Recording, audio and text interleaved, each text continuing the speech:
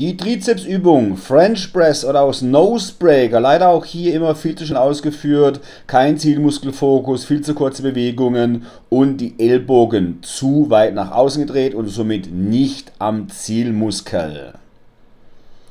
Die korrekte Bewegungsausführung French Press, Oberarme senkrecht, Ellbogen nach innen Richtung Brust, langsam nach unten, kurz anhalten, Stopp und nach oben raus, Zielmuskelfokus, Zielmuskel anspannen.